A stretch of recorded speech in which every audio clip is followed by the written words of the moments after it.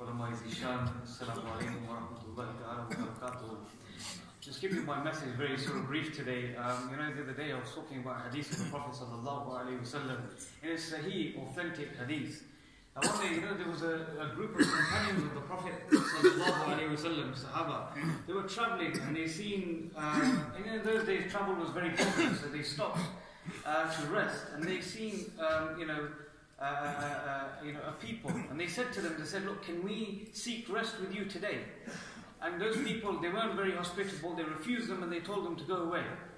So the Sahaba radiallahu ta'ala they set up camp somewhere close. And that's where they uh, sought rest.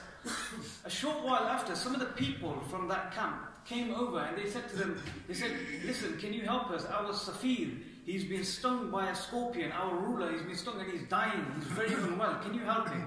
So the Sahaba radiallahu ta'ala I won't tell you the full hadith because time is short. But they said to him, they, nevertheless, they didn't refuse. They said, look, bring him to us and we will assist him. We will assist him. so they brought the man, and uh, when he came, they say one companion of the Prophet sallallahu alaihi wasallam, he read Surah Al-Fatiha and he did dam on him.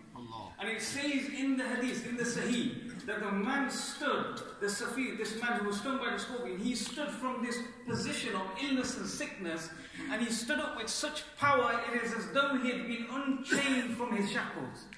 These are the words in the hadith, these are the power of Surah Al-Fatiha. You know, some people say, you know, why is it that we don't have this power when we read Surah Al-Fatiha? Why is it we don't have this power? And this? Because we don't have connection with the Quran. And what is the real connection with the Quran? How do we forge connection with the Quran?